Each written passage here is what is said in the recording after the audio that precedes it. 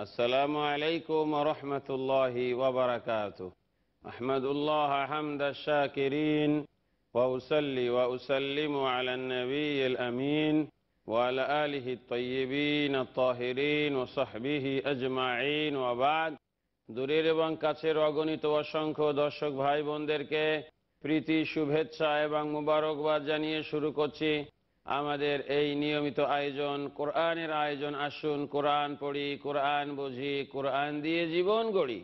কোরআন দিয়ে জীবন গড়ার জন্য আমাদের যা কিছু প্রয়োজন, আল্লাহ রাবুল্লাহ আলমিন কোরআনের মধ্যে পুঙ্খানুপুঙ্খ, বিস্তারিতভাবে আমাদের সব কিছু বলে দিয়েছেন। আল্লাহ রাবুল্লাহ আলমিন এবং আল্লাহর নবী আমাদেরকে ডিপ্রাইভ করেন নাই, আমাদেরকে হতাশার মধ্যে রাখেন নাই। আমার ভাইয়েরা, আমার বোনেরা আলোচনা চলছে সুরাতুন্নেসা থেকে বাস নাম্বার থার্টি ফাইভ দেখি আল্লাহ কি বলেন أعوذ بالله من الشيطان الرجيم بسم الله الرحمن الرحيم وإن خفتم شقاق بينهما فابعثوا حكما من أهله وحكما من أهلها إن يريدا إصلاحا يوفق الله بينهما إن الله كان عليما خبيرا যদি তোমরা দুইজনের মাঝে আর মিল মহব্বত হচ্ছে না, অসুবিধা যদি লক্ষ্য করো, দুইজনের মধ্যে দূরত্ব যদি তোমরা লক্ষ্য করো স্বামী এবং স্ত্রীর মধ্যে, তাহলে স্বামীর পরিবারের পক্ষ থেকে একজন বিচারককে তোমরা পাঠাও আর স্ত্রীর পরিবারের পক্ষ থেকে একজন বিচারককে তোমরা পাঠাও। যদি তারা দুইজনেই সংশোধন চান। আল্লাহ অবশ্যই তাদের দুইজনকে তৌফিক দিবে নিশ্চয়ই আল্লাহ রবুল্লা আলমিন সব জানেন এবং সব কিছুর খবর রাখেন। আমার ভাইরা, আমার বোনেরা, যে কোনো বিষয়কে সমাধান করার জন্য আল্লাহ রব্বুল্লা আলমিন স্টেপ বাই স্টেপ যতগুলো অপশন থাকতে পারে, যতগুলো সুযোগ সুবিধা থাকতে পারে যতভাবে একটা সমস্যার সমাধান করা যায়, প্রত্যেকটাকেই আল্লাহ তালা বর্ণনা করেছেন। বলুন সুবাহান আল্লাহ সুবাহান আল্লাহ স্বামী স্ত্রীর মাঝে মিল মহব্বত হচ্ছে না। স্বামী স্ত্রীর মধ্যে বনিবনা হচ্ছে না। আমরা নিজেরা অনেক সময় পার্ট অফ দ্য প্রবলেম হয়ে যায় নিজেরা প্রবলেম করি, নিজেরা বুঝি না। তখন থার্ড পার্টির আপনার ইনভলভমেন্ট দরকার হয়। তৃতীয় পক্ষের যদি সেখানে আমরা ইনভলভ করি তাহলে ভালো হয়। যেন আল্লাহ সুবাহ এই অপশনকেও এক্সপ্লোর করার জন্য বললেন। কোনো বিষয় নিয়ে স্বামী স্ত্রীর মধ্যে মনোমালিন্য হয়েছে ডিসপিউট হয়েছে, মতবিরোধ হয়েছে, মন কষাকষি হয়েছে, আর যে কষল যে এটাকে আর এক করা যাচ্ছে না, কষা অবস্থায় থাকতেছে, এটা আর গলল না। যেটা কষলো এটা আর গলল না, মন দুইজনের। কোনোভাবেই সমাধান হচ্ছে না। তখন আল্লাহ সুবাহ এই জিনিসের সমাধান কীভাবে করা যায়?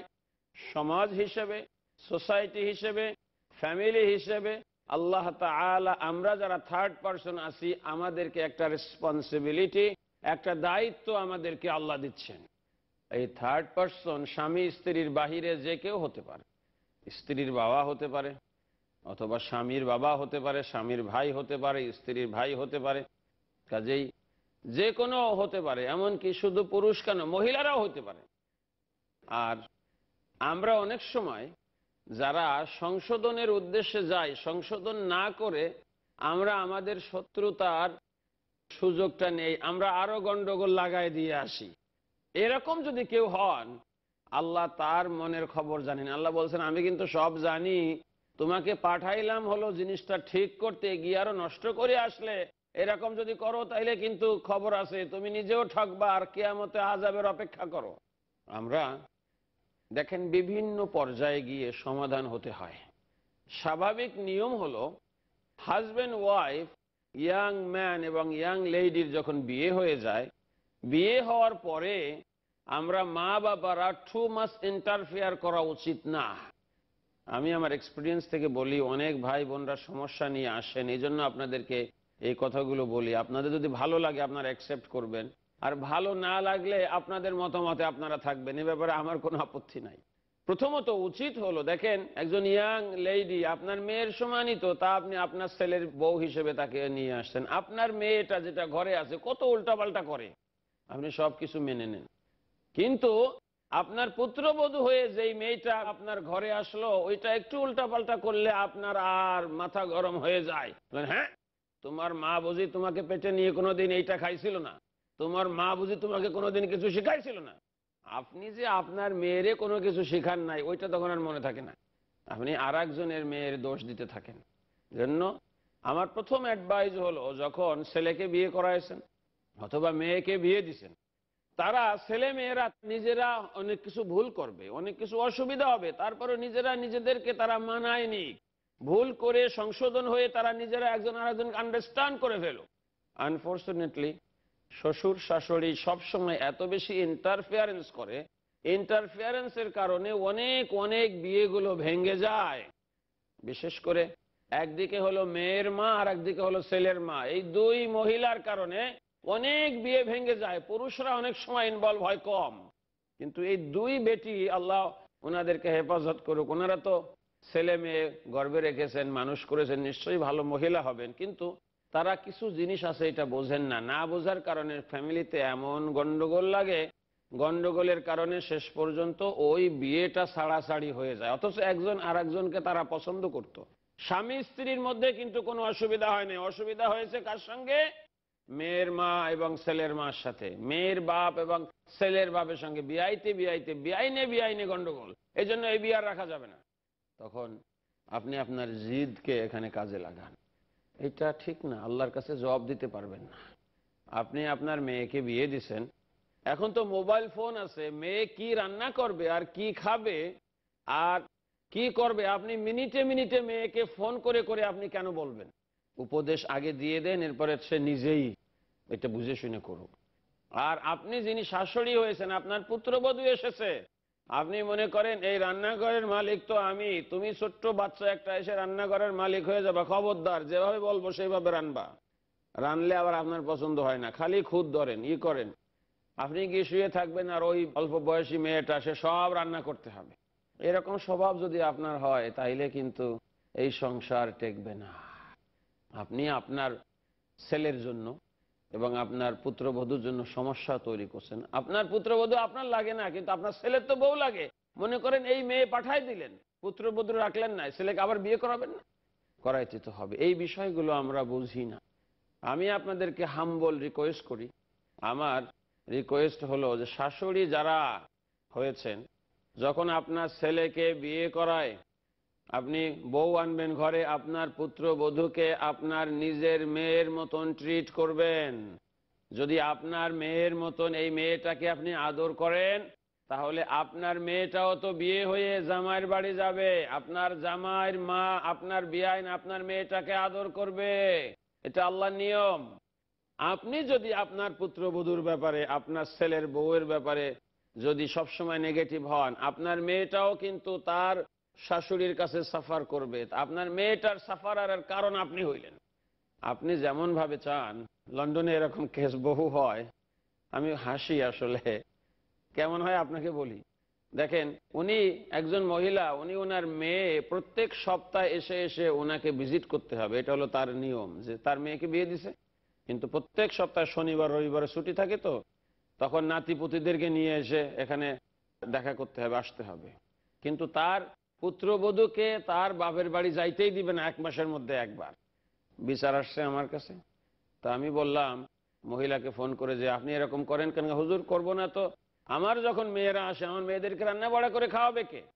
আমি বললাম যে, তো আমি আপনার জামাইকে ফোন করে বলে দিব, আপনি যেমন আপনার বউকে এক মাসের মধ্যে তার বাপের বাড়ি যাইতে দেন না, আপনার মেয়েকে সে এক মাসের মধ্যে যাইতে দিবে না। যেদিন আপনার মেয়ে আপনার ঘরে আসবে, সেদিন আপনার বউ তার বাপের বাড়ি যাবে। কেন হুজুর, আসলে কথা ঠিকই কইছেন আপনি, কিন্তু মানা কি এত সহজ? মানে হ্যাঁ যদি না মানেন তাইলে আপনি অবিচার করলেন। আপনি যদি ভালো শাশুড়ি হন, আপনি আপনার বউকে বললেন, মা, যা, বেড়ায় আয়, তোর মাকে দেখে আয়, আমার সালাম কোষ তখন বরং আপনার পুত্রবধূ বলবে যে, মা, যাওয়ার আগে আমি রান্নাটা করে রেখে যাই। আমি আমার এক মাকে হারাইছি, আমার মা আমার বাড়িতে আছে, এই বাড়ি এসে আর একজন মা পাইছি। তখন কি হবে? আপনার মেয়েটাকেও আপনার জামাই এই সুযোগটা দিবে। এই জন্য আপনার মেয়ে যেইভাবে আপনি চান যে আপনার জামাই ট্রিট করুক, ব্যবহার করুক, আপনি আপনার পুত্রের বউর সঙ্গে সেইভাবে ট্রিট করবেন। এটা যদি করেন, আপনার মেয়ের জীবনটাও সুন্দর হবে। আপনার পুত্রবধূ জীবনটাও সুন্দর হবে। আপনার ছেলের জীবনটাও কিন্তু সুন্দর হবে। অনেক ছেলে এসে বলে, হুজুর, আমি খুব বিপদে আছি। আমার মা হলো রং। তিনি ভুল করতেছেন, আমার বোর রং না, কিন্তু মাকে বুঝাইতে পারি না, আমি কি করব। আমি এই সম্পর্কে আরও কথা বলব ইনশাল্লাহ আপনাদের খেদমতে, কিন্তু আমাদের সময় হয়ে গেল। খানিকক্ষণের বিরতিতে যাওয়ার, বিরতির পরে আমরা ডিসকাশনকে কন্টিনিউ করব। টেলিভিশনের পর্দার সামনেই থাকবেন ইনশাল্লাহ stay in front of television screen will be back soon after the short break আসসালামু আলাইকুম ও রহমতুল্লাহি ওবরাকাতু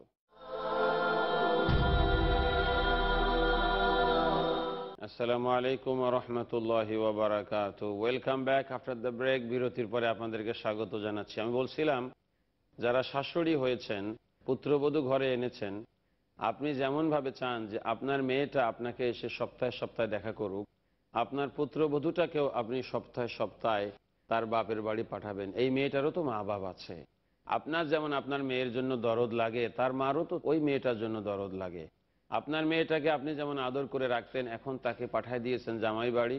আল্লাহ রবুল্লা আলমিন আর একটা মেয়ে আপনাকে দিয়েছেন, এটাকে দেখাশোনা করে রাখবেন। তাহলে আল্লাহ আপনার মেয়েকেও শান্তিতে রাখবেন, আপনার পুতির্বহ শান্তিতে থাকবে, আপনার ছেলেটাও শান্তিতে থাকবে। দেখেন, আমাদের মধ্যে মানসিকতা হলো কি, যে আমার জামাই আমার মেয়ের কথা যেন সবসময় শুনে চলে। আমার মেয়ে যা বলবে, জামাই যেন অক্ষরে অক্ষরে মানে। আবার আমার ছেলে যেন আমার পুতির্বর কথা একটাও না শুনে, তাইলে হবে কি করে?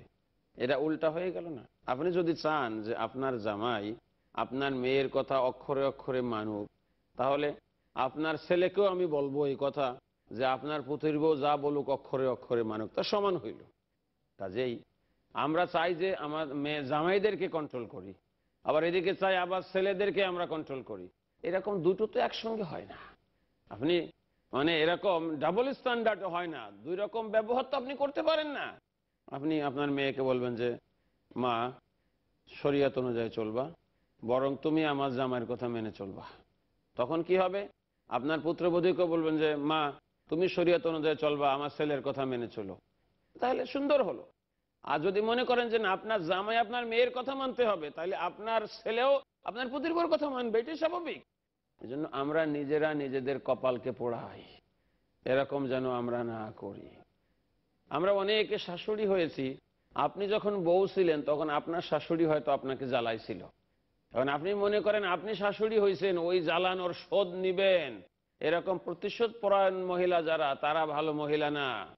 বরং আপনি মনে মনে বলবেন যে, আমার শাশুড়ি বোঝে নাই, হয়তো আমাকে জ্বালাইছে। আল্লাহ আমার শাশুড়িকে মাফ করুক। আমি আমার পুতির বউটাকে জ্বালাবো না। আল্লাহ আমাকে শান্তি দিবেন। আমি এই ছোট মেয়েটাকে বউ হিসেবে এনেছি, আমি একে বুঝাই শোনায় নিব।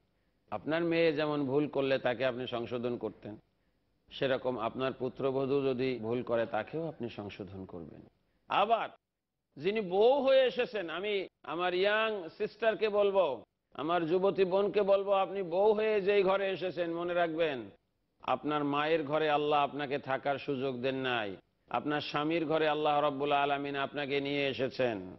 আপনি আপনার মাকে যেমন ইজ্জত করতেন আপনি আপনার মাকে যেমন সাহায্য করতেন, আপনি আপনার মাকে যেমন দেখাশোনা করে রাখতেন, ওষুধ লাগলে ওষুধ দিতেন, অসুস্থ হইলে খেদমত করতেন, আপনার স্বামীর মাকেও আপনি এরকম নিজের মায়ের মতন দেখবেন। লাভ কি হবে? আপনি যদি আপনার স্বামীর মাকে, আপনার শাশুড়িকে মায়ের মতন দেখেন, তাহলে আপনার ভাই যে বিয়ে করে আপনার ভাবিকে আনছে, আপনার ভাবি আপনার মার দেখাশোনা করবে, আপনার মায়ের জীবনটা ভালো হবে। আপনি আপনার শাশুড়ির জীবনটা ভালো বানাই দেন, আল্লাহ রবাহ আলমিন আপনার মায়ের জীবনটা ভালো বানানোর ব্যবস্থা করবেন। আর এরপরে কি হবে? আপনার ঘরেও একদিন ছেলে হবে। ওই ছেলে বিয়ে করে বউ একটা আনবে, আপনার বয়স অনেক বেশি হয়ে যাবে, বুড়ো হয়ে যাবেন। তখন গায়ে বল থাকবে না, ওষুধ নিজে খাইতে পারবেন না, তখন আপনার ছেলের বউ আপনাকে ওষুধ খাওয়াই দিবে। আপনার খেদমত করবে, যদি আপনার শাশুড়ির খেদমত আপনি করেন। অনেকেই বলেন, আজকাল তো ইন্টারনেটে তো সব ইনফরমেশন পাওয়া যায়। অনেক মহিলার হুজুর, আমার শাশুড়ির খেদমত করার দায়িত্ব তো আমার না, এটা আমার স্বামীর দায়িত্ব। আমি হ্যাঁ কথা ঠিক। দায়িত্ব স্বামীর, কিন্তু স্বামীর দায়িত্ব এমন যে বোর খেদমতের আগে মায়ের খেদমত করতে হবে স্বামী এজন্য মা যদি অসুস্থ থাকে, অসুবিধায় থাকে, ছেলে গিয়ে মার খেদমত করবে, তোমার খেদমত কিন্তু করবে না। ও হুজুর, তাই নাকি? তা তো জানি না। হ্যাঁ ওইটাও জানতে হবে। সেজন্য যদি কোনো পুত্রবধূ তার শাশুড়ির খেদমত করে, অবশ্যই তার হাজবেন্ডকে সাহায্য করতেছে। হাজবেন্ড বেটা মানুষ, কাজে কামে ব্যস্ত থাকতে হয়। যদি মার অসুবিধা হয়, প্রয়োজনে কাজ ছেড়ে দিয়ে ছেলে তার মায়ের খেদমত করা লাগবে শরীয়ত অনুযায়ী। মার খেদমত সব থেকে বড়। ওয়াইফের খেদমতের আগে মায়ের খেদমত আসে, কারণ মায়ের বয়স বেশি, মায়ের প্রয়োজন বেশি। সেজন্য আপনারা আপনাদের শাশুড়িদের খেদমত করবেন। এতে করে আপনার স্বামীকে আপনি সাহায্য করতেছেন। আর আপনি যখন শাশুড়ি হবেন, তখনও আপনি খেদমত পাবেন। আপনি যেভাবে দিবেন, সেইভাবেই পাবেন। এটাই হলো আল্লাহ সুবহান হুয়া তালার নিয়ম। সেজন্য যারা পুত্রবধূ হয়ে যারা বিভিন্ন ঘরে এসেছেন, শাশুড়িকে শত্রু মনে করবেন না। শাশুড়ি একজন মানুষ, তিনি বৃদ্ধা মানুষ, বয়স হয়েছে, কোনো ভুল করতে পারে। এরপরও আপনি তার সঙ্গে ভালো ব্যবহার করবেন, মুখ ফোলায় থাকবেন না। আপনি এরকম চোখ কোড়া করে থাকবেন না। এই মহিলাটা ভুল করলেও তার সঙ্গে মিলেমিশে আপনি থাকেন, আপনার জীবনটা সুন্দর হবে। আর আপনার ঘরে যে আপনার ভাবি হয়ে আপনার ভাইয়ের বউ আসবে, সেও আপনার মায়ের সঙ্গে ভালো ব্যবহার করবে। এটাই হলো শরীয়তের ব্যালেন্স কথা। আর এর থেকে এই ব্যালেন্সের বাইরে যখন আমরা যাই, তখন আমাদের জীবন দুর্বিষহ হয়ে যায়। এবং সব সময় পুরুষ মানুষরা আমাদের কাছে কমপ্লেন নিয়ে আসে যে, হুজুর, মাকে তো বুঝাইতে পারতেছি না। আমার ওয়াইফ এবং মা দুইজন, একজন আরেকজনের ছায়াই দেখতে পারে না। আচ্ছা আপনি এখন বলেন তো দেখি। আপনি বলবেন যে, বেটা, তোরে আমি পেটে রাখছি, মানুষ করছি। এখন বিয়ে করাইছি, বোর কথা মতো চলিস, আমার কথা মানিস না, আমি তোরে চাই না। ওদিকে আবার বোর কাছে গেলে বলে হ্যাঁ তোমার মা অমুক তমুক, এই সেই বুড়ির দোষ, এই দোষ, সেই দেশ, আমার গালাগালি করছিল, লবণ হয়েছিল না, তেল হয়েছিল না, আমি তাকে খাবার দিতে দেরি হয়েছিল কেন? আমার সবসময় বকাবকি করে, আমি তার কথা শুনব না। বেচারা, বেটা তো অসুবিধায়। তার তো দুইটা লাগে, তার মাও লাগে, বউও লাগে, দুইটাই তো লাগে মানুষের লাইফে আপনার হয়তো খালি ছেলে হলে হয় বউ দরকার নাই। আর ওই মহিলার হয়তো খালি স্বামী হলে হয়, শাশুড়ির দরকার নাই। কিন্তু স্বামী যে বেচারা, পুরুষ মানুষটা, যার মাকেও যেমন দরকার ওয়াইফকেও সেরকম দরকার, কোনোটাকে দোষে ফেলাইতে পারবে না। এখন কি হয়? পুরুষ মানুষ তখন তার দেখা যায় যে ডিপ্রেশন হয়ে যায়। তখন মানসিক রোগের রোগী হয়ে যায়, হাসপাতালে গিয়ে ভর্তি হয়, নানান অঘটন ঘটে, তখন অনেকে বাড়ি ছেড়ে চলে যায়, কি করবে জানে না? আপনারা মহিলারা পুরুষদেরকে এরকম সমস্যায় মেহরবানি করে ফেলবেন না। পুত্রবধূরা এবং শাশুড়িরা আল্লাহর অস্তে আল্লাহকে ভয় করে মিলে মিশে চলবেন। আমার ভাইয়েরা, বোনেরা, তাহলে এরপরও এত কিছু করার পরেও যদি এরপরে গন্ডগোল হয়ে যায় হাজবেন্ড ওয়াইফের আর কোনোভাবে এটা হচ্ছে না, তখন সালিশ পাঠানোর কথা বলা হয়েছে। স্বামীর পক্ষের একজন রেসপন্সিবল আর স্ত্রীর পক্ষের একজন রেসপন্সিবল দুজন হাকাম পাঠাতে বলা হয়েছে, দুজন সালিস সালেস মানে তৃতীয় পক্ষ আর কি। সালেস সালিশ হয়ে গেছে বাংলাদেশে। এনিওয়ে যাদেরকে সালিশ মানা হবে, তারা যেন কোনো সময় নিজেদের গ্রাস, নিজেদের রাগ, নিজেদের কৌশল যেন তাদের মধ্যে বাস্তবায়ন না করে, যে ওই দেখাই দিই গন্ডগোল একটু লাগাই ফেলি। তাহলে আল্লাহর কাছে আপনি দায়ী থাকবেন, আল্লাহর কাছে আপনি দায়ী থাকবেন, আল্লাহর কাছে দায়ী থাকবেন। আর দুই সালিশের মূল দায়িত্ব হবে দুইজনের কথা শোনা দুজনকে কনভিন্স করা এবং সবসময় বিয়ে শাদির ক্ষেত্রে প্রায়োরিটি হলো সম্পর্কটাকে কীভাবে ঠিক রাখা যায়। কীভাবে স্বামী স্ত্রীর সম্পর্কটাকে ঠিক রাখা যায়? কারণ বিবাহের সম্পর্কটা ভাঙ্গার জন্য হয় না, এটা গড়ার জন্য, এটা থাকার জন্য, এটা কন্টিনিউ করার জন্য there is no other way round এই জন্য আল্লাহ বলেছেন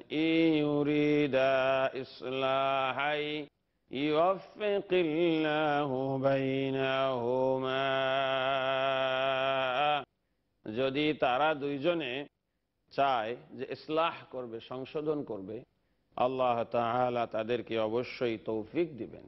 আল্লাহ তাদেরকে ইসলাহ করার আবার দুইজনকে একত্রিত করার তৌফিক দিবেন। হ্যাঁ এমনও হতে পারে, কোনো কোনো ক্ষেত্রে দেখা যেতে পারে যে ডিসপিউট এত বেশি, সমস্যা এত বেশি যে এই দুইটাকে আর একত্রিত করার কোনো উপায় নাই। দুইজনে এমনভাবে অপরাধের সঙ্গে জড়িত, দুইজনের ওয়ে অফ লাইফ এত দূর, এত ফারাক, যোজন যোজন দূরত্ব, এই যোজন যোজন দূরত্বকে একত্রিত করার আর কোনো হোপ নাই। চেষ্টা করেও ফেইলিয়ার তখন তারা অ্যাডভাইস করতে পারে। যে তাহলে তোমাদের মনে হয় আলাদা হয়ে যাওয়াটাই বেটার হবে। স্টিল তোমরা দেখো, একসঙ্গে থাকতে পারলে ভালো। কারণ আপনারা দুজন তো কোর্ট না। এজন্য হুবহু দুজনকে সেপারেট করেই দিবেন তা না হ্যাঁ।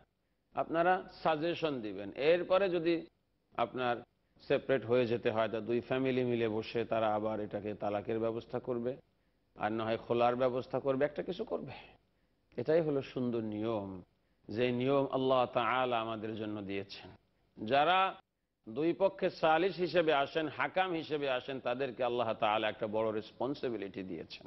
এই রেসপন্সিবিলিটি তারা পালন না করলে তারাও আল্লাহ রব্বুল্লাহ আলমিনের কাছে গুনাহাগার হবেন। তাহলে দেখেন, স্বামী স্ত্রীর জীবনকে সুন্দর করার জন্য প্রথম আয়াতে তো আল্লাহ বলেছিলেন, স্বামী কীভাবে স্ত্রীকে সংশোধন করবে? এরপরেও দেখা গেল, সব স্টেপ ফলো করার পরে সংশোধন হলো না। এমনও তো হতে পারে, স্বামী খারাপ হয়ে গেছে। স্ত্রী তখন তাকে সংশোধন করার জন্য চেষ্টা করবে। সংশোধন হয়েছে না। দুইজনের মধ্যে ডিসপিউট হয়েছে মনোমালিন্য হয়েছে ঝগড়াঝাটি হয়েছে। বিভিন্ন ধরনের এমন সিচুয়েশন হয়ে গেছে যে তারা যোজন যোজন দূরত্বে চলে গিয়েছে। এমন ঘটনা ঘটেছে যে ঘটনার কারণে আর একসঙ্গে ঘর সংসার করা ডিফিকাল্ট তখন দুই পক্ষের দুই মুরব্বী দিয়ে, দুই পক্ষের দুইজনকে দিয়ে, দুই পক্ষের দুই হাকামকে দিয়ে, দুই পক্ষের দুই সালিশকে দিয়ে দুইজনের সঙ্গে কথা বলে এটাকে সংশোধন করার চেষ্টা করা হবে। এরপরেও যদি দেখা যায় যে না, আর কোনো উপায় নাই, তখনই শুধুমাত্র সেপারেশনের কথা বলে ইসলাম, তখনই শুধুমাত্র তালাকের কথা বলে ইসলাম, তখনই শুধুমাত্র খোলা আর কথা বলে ইসলাম, এর আগে নয়। তার অর্থ হলো হান্ড্রেড পার্সেন্ট আমাদেরকে ট্রাই করতে হবে। আপনার ম্যারিচুয়াল যে আমাদের যে রিলেশন বিয়ের যেই সম্পর্ক, এই ম্যারিচুয়াল রিলেশনকে ঠিক রাখার জন্য হান্ড্রেড পার্সেন্ট চেষ্টা করার পরে যদি ফেল করে, তখনই শুধুমাত্র জায়েজ হবে অ্যালাউড হবে। যে আপনি এরকম একটা সিদ্ধান্ত দিবেন যে না তারা আলাদা হয়ে যাবে। যদি কেউ এর মধ্যে গন্ডগোল করে, আল্লাহ তাদেরকে শাস্তি দিবেন।